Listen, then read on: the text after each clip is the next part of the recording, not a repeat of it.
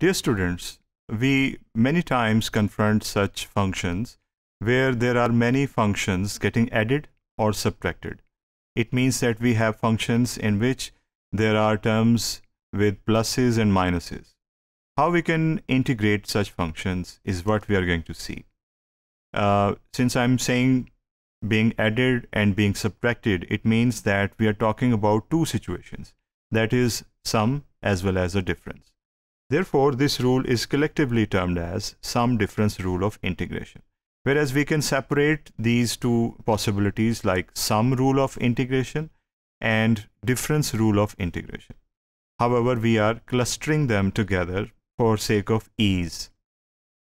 Now you can see that uh, this rule has a certain statement and that is very simple. You can read this लेकिन मैं आपको ये आसान तरीन अल्फाज में बता देता हूँ because actually it is very Simple and the process is that we integrate all the functions in that given function separately and keep the signs as they are. अगर हमारे पास एक ऐसा फ़ंक्शन है जिसमें दो फ़ंक्शंस आपस में जमा हो रहे हैं हम दोनों को सेपरेटली इंटीग्रेट करेंगे और प्लस वैसे का वैसे रहेगा। एंड सेम होल्ड्स ट्रू कि अगर दरमियान में माइनस हो। तो इसे हम डिटेल में देखते हैं। ये एक फ़ंक्शन uh, है जो सम और डिफरेंस दोनों की पॉसिबिलिटीज़ को डिपिक्ट uh, कर रहा है।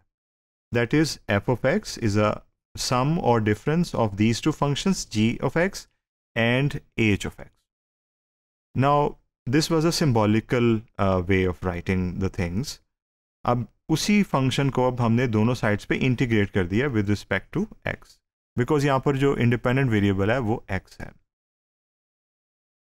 प्लस सी प्लस सी आएगा because this is integration in which we you know introduce the constant of integration how the most important thing to note is कि पहले ये ओवरऑल इंटीग्रेशन थी, अब हमने सेपरेटली दोनों फ़ंक्शंस के ऊपर इंट्रोड्यूस करवा दिया।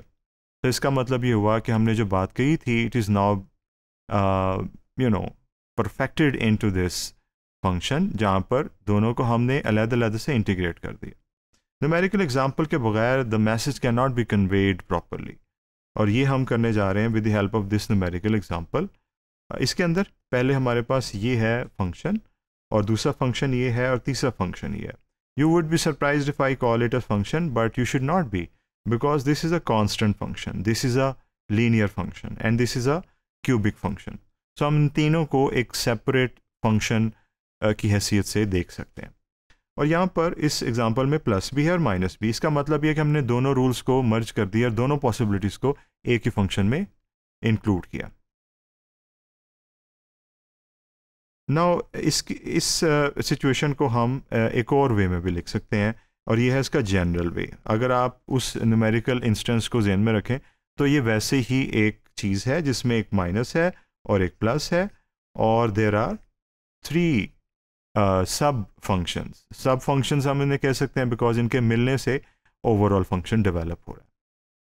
तो तरीकाकार वही है इट इज़ वेरी इजी जहाँ पर हम देख रहे हैं कि पहले फ़ंक्शन का अलहदा से इंटीग्रल और फिर दूसरे फ़ंक्शन का इंटीग्रल और फिर तीसरे फ़ंक्शन का integral whereas the signs they are preserved हम उन्हें चेंज नहीं कर रहे they were minus and they are still you know the same not changing ये जो स्टेप्स हैं ये आप खुद कर सकते हैं D I Y do it yourself because अभी हम uh, जानते हैं that how we can integrate a power function यहाँ पर पावर फ़ंक्शन रूल अप्लाई हो रहा है यहाँ पर भी और इस केस में कांस्टेंट फ़ंक्शन रूल अप्लाई हो रहा है जो कि हम आ, बाकी वीडियोस में सीख चुके हैं।